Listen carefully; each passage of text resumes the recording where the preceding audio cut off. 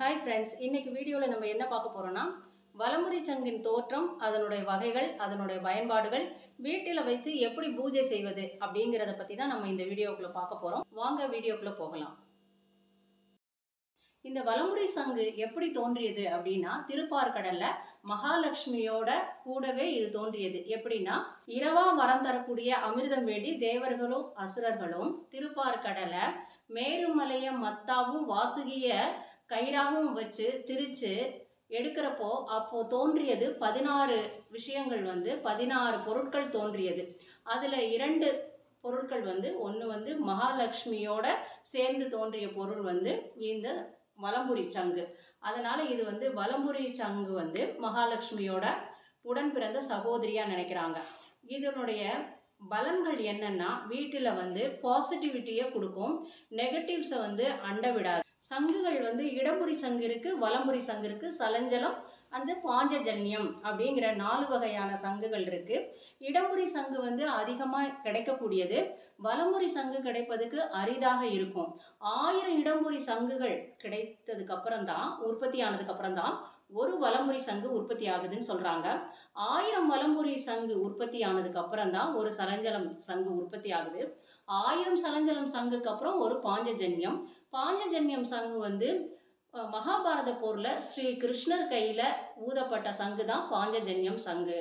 இந்த சங்கு வந்து ஒரு ஆயிரம் ஒரு யுகத்துக்கு ஒன்றாக தான் இந்த பாஞ்சஜன்யம் சங்கு உற்பத்தி ஆகுது அப்படின்னு சொல்கிறாங்க மகாபாரத போரில் ஸ்ரீ கிருஷ்ணர் வந்து பாஞ்சஜன்யம் சங்க எடுத்து அவர் கையில் இருக்குது அப்படிங்கிறதுக்கு ஒரு வரலாறு இருக்கிறது. அதாவது அவர் குருகுல வாசம் முடிஞ்சதுக்கப்புறம் குருவிடம் விடை பெறும் பொழுது உங்களுக்கு குருதட்சணையாக என்ன வேணும்னு கேட்குறாரு அப்போது அந்த குரு என்ன குருவும் அவங்களுடைய மனைவியும் சொல்கிறாங்க எங்களுடைய ஒரே மகனை வந்து பஞ்சஜனனன் அப்படிங்கிற அரக்கன் வந்து பிடிச்சிட்டு போயிட்டான். அவன் வந்து கொண்டு போயிட்டான். அவனை எங்களுக்கு மீட்டு கொடுத்தாலே அதுவே எங்களுக்கு குருதட்சணையாக நாங்கள் ஏற்றுக்கொள்கிறோம் அப்படின்னு சொல்கிறாங்க அப்போ ஸ்ரீ விஷ்ணு அதாவது ஸ்ரீ கிருஷ்ணர் என்ன பண்ணுறாருன்னா கடலுக்கடியில் போய் பஞ்சஜனனன் அரக்கனை கொன்று அந்த சாம்பலை ஒரு சங்கா வடித்து தன் கையில் பாஞ்சஜன்யம் அப்படிங்கிற பெயர் அப்பொழுதுதான் வந்தது. அந்த பாஞ்சஜன்யம் சங்க அவர் வைத்திருக்கிறார்.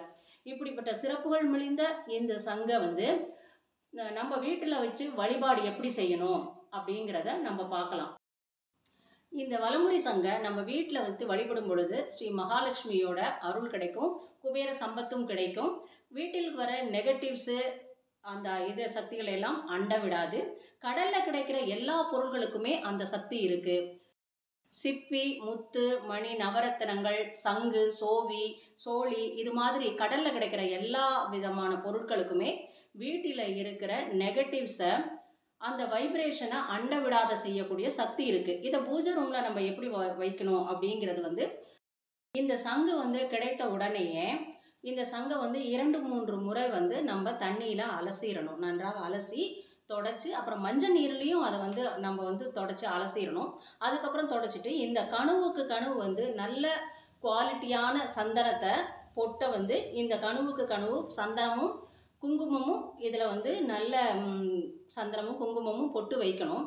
பொட்டு வைத்து இது வந்து ஒரு வளர்பிறை வெள்ளிக்கிழமை சுக்கிர ஓரை காலையில் ஆறு டு ஏழில் நம்ம பூஜை ரூமில் இந்த மாதிரி ஒரு ஸ்டாண்டு இதற்குன்னு வந்து ஒரு ஸ்டாண்டு இருக்குது அந்த ஸ்டாண்டில் வைத்து நம்ம வழிபாட துவங்கலாம். ஸ்டாண்டு மேலே இந்த வலம்புரி சங்கை வைத்து அதை எந்த திசையில் வைக்கணும்னா கிழக்கு திசை வைக்கலாம் அல்லது வடக்கு நோக்கியும் வைக்கலாம். இதில் வந்து தண்ணீர் மாற்றுவதாக இருந்தால் டெய்லி தண்ணீர் வைக்கணும்.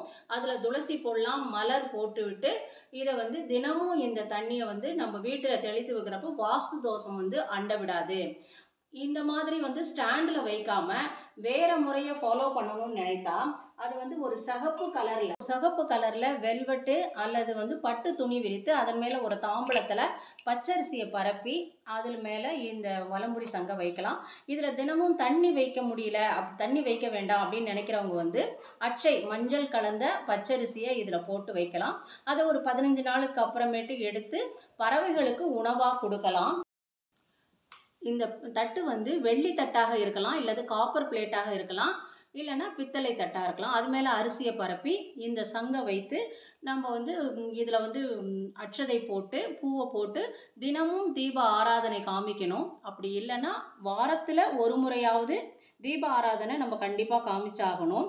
இதில் வந்து கடலில் கிடைக்கிற எல்லா பொருட்களுக்குமே நெகட்டிவிட்டியை அண்ட விடாது. சிப்பிகள் முத்துக்கள் முத்து மாலை பவளம் சங்கு இது எல்லாமே தோஷ நிவர்த்தி தான் ஆகும் இந்த இதில் வந்து ஒரு ஓம்கார சத்தம் வந்து இதை காதில் வச்சு கேட்குறப்ப ஓம்கார சத்தம் கேட்கும் அந்த ஓம்கார ஒலி சதா ஒலித்து கொண்டே இருப்பதனால வீட்டில் வந்து நெகட்டிவிட்டியே இருக்காது. அதனால் வலம்புரி சங்கு வந்து இதில் நீரை வைத்து நம்ம அந்த தீர்த்தத்தை வீடு முழுவதுமாக தெளித்து விடுறப்ப துளசியை போட்டு அந்த நீரை வீடெல்லாம் தெளித்து விடுறப்ப வாஸ்து தோஷம் நீங்க செய்யும். ஒவ்வொரு வெள்ளிக்கிழமையும் துளசி இட்ட தீர்த்தத்தால் வீட்டில் தெளித்து வர வந்து வாஸ்து குறைபாடு நீங்கும். செவ்வாய் தோஷம் உள்ள பெண்கள் வந்து இதில் பால் வைத்து செவ்வாய்க்கிழமை ஒவ்வொரு செவ்வாய்க்கிழமை இருபத்தி ஏழு செவ்வாய்க்கிழமை அங்காரகனுக்கு பூஜை செஞ்சு அபிஷேகம் செஞ்சு வர பொழுது அவங்களுக்கு வந்து தோஷ நிவர்த்தியாகி திருமணம் கைகூடும். பௌர்ணமி நாட்களில் வந்து குங்கும அர்ச்சனை இந்த வலம்புரி சங்குக்கு செய்யும் போகும் பொழுது நம்மளுடைய கடன்கள் குறைந்து கடன் இல்லாமல் போயிடும். வலம்புரி சங்கு நம்ம வீட்டில் வைத்து வழிபாடு செய்யும் பொழுது பில்லி சூனியம் ஏவ ஏவல் இந்த மாதிரி விஷயங்கள்லாம் வீட்டில் நெருங்காது. அதே மாதிரி நம்ம வீட்டில் இருக்கிற எல்லா சாமிகளுக்கும் அபிஷேகம் செய்கிறவங்க இதில் வந்து தண்ணீர் பால் இதெல்லாம் வைத்து வலம்புரி சங்கில் அபிஷேகம் செய்கிறப்ப அதனுடைய பலன் வந்து பத்து மடங்கா பன்மடங்காக இருக்கும். மங்களத்தின் அடையாளம் இந்த வலம்புரி சங்கு. வியாழக்கிழமை சங்கு பூஜை செய்வது வந்து மிகவும் நல்ல விஷயம். சங்குல வந்து நிறைய வகைகள் இருக்குது மணி சங்கு துயர் சங்கு பாரத சங்கு வைபவ சங்கு துயிலா சங்கு வெண் சங்கு பூமா சங்கு திரிசங்கு அப்படின்னு சங்குகளில் நிறைய வகைகள் இருக்குது சங்கு ஒவ்வொரு தெய்வங்களும் ஒவ்வொரு பெயரில் அந்த சங்குகளை வைத்திருக்கிறாங்க. அதே மாதிரி பஞ்ச பாண்டவர்கள் கையில் வந்து சங்குகள் இருப்பதற்கும் வேற வேற பெயர் இருக்கிறது. தர்மர் கையில் இருக்கிறது அனந்த விஷயம் அப்படிங்கிற சங்கு. அர்ஜுனன் கையில் தேவதத்தம் பீமன் கையில் மகாசங்கு இல்லைன்னா பவுண்ட்ரம்னு பேர். நகுலன் கையில் சுகோஷம் சகாதேவன் கையில் இருக்கிறது வந்து மணி புஷ்பம்ங்கிற சங்கு. அது மகாவிஷ்ணு கையில் இருக்கிறது வந்து வலம்புரி சங்கு. ஸ்ரீகிருஷ்ணர் கையில் இருக்கிற சங்கு வந்து பாஞ்சஜன்யம். மகாபாரதத்தில் ஸ்ரீகிருஷ்ணர் கையில் இருக்கிறது வந்து பாஞ்சஜன்யம்ங்கிற சங்கு. அதே மாதிரி திருப்பதி ஏழுமலையான் அவர் கையில் இருக்கிறது வந்து மணிசங்கு. திருவனந்தபுரம் ஸ்ரீ அனந்த பத்மநாப சுவாமி திருக்கரத்தில் இருக்கிற சங்கு பேர் வந்து பாரத சங்கு. திருவல்லிக்கேணி பார்த்தசாரதி கையில் இருக்கிறது வந்து வைபவ சங்கு. திருக்கண்ணபுரம் ஸ்ரீ சபரிராஜ பெருமாள் கையில் இருக்கிறது வந்து துயிலா சங்கு.